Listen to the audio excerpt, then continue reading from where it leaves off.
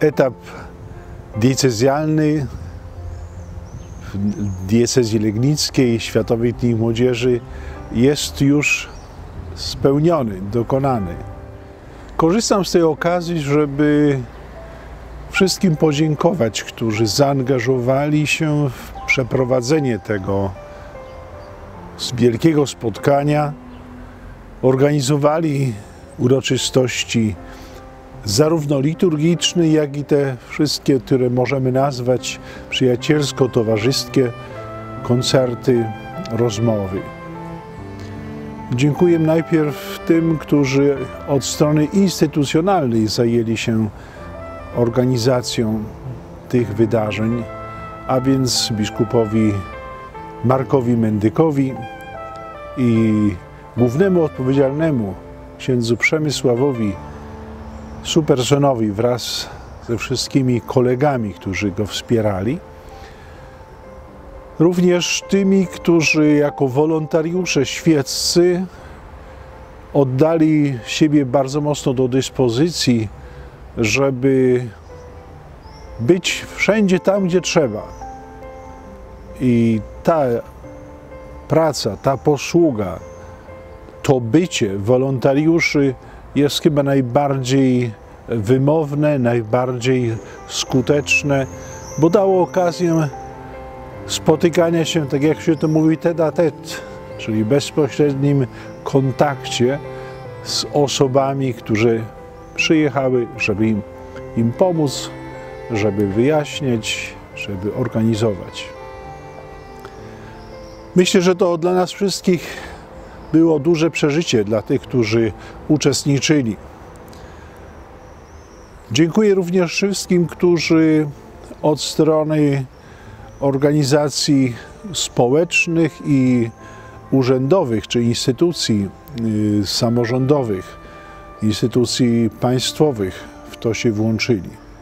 Dziękuję urzędowi naszego miasta, panu prezydentowi i wszystkim jego współpracownikom za to, że byliście widoczni na różnych spotkaniach. Dziękuję wszystkim, którzy podlegają Urzędowi Miasta, a więc służby porządkowe, służby medyczne, ratunkowe. Dziękuję Policji i Straży Pożarnej za to, że wszystko było zabezpieczone i każdy mógł się czuć bezpieczny. Że tam, gdzie było trzeba, pokierowaliście odpowiednio przepływem ludzi, że wszystko było tak, że nie było niewłaściwych zdarzeń, to też jest Wasza zasługa. Dziękuję również tym, którzy włączyli się to wszystko, co jest związane z przygotowaniem od strony finansowej. A więc myślę o sponsorach, o tych, którzy zbierali pieniądze i potrafili w ten sposób dać swój wkład i pomóc innym do tego, żeby mogli wspomóc to dzieło.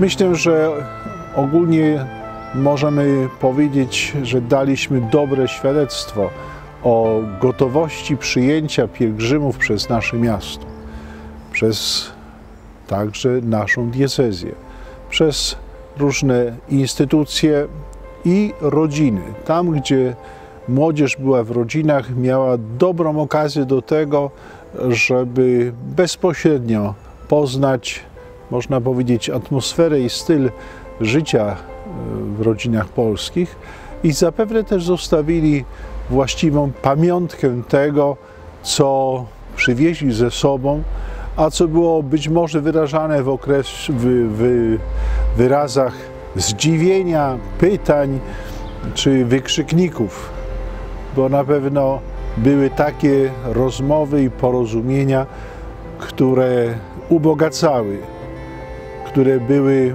okazją do wymiany doświadczeń i wymiany myśli, wymiany także mentalności i kultury. Niech Panu Bogu za to wszystko będą dzięki, co mogliśmy przeżyć i co jest udziałem naszym i co pozostanie wkładem także na przyszłość. Życzę wszystkim dobrych wspomnień z tego pobytu młodzieży u nas, wie młodzieży, bo tam była też i starsza młodzież, ale wszystkich tych pielgrzymów i życzę, by to, cośmy przeżyli, trwało w nas, zostało umocnione w tym centralnym wydarzeniu, do którego się zbliżamy, które będzie miało miejsce w Krakowie, byśmy jak najdłużej zachowali w pamięci to wszystko, co okazało się dobrem i co może przynieść owoc przyszłości naszego życia.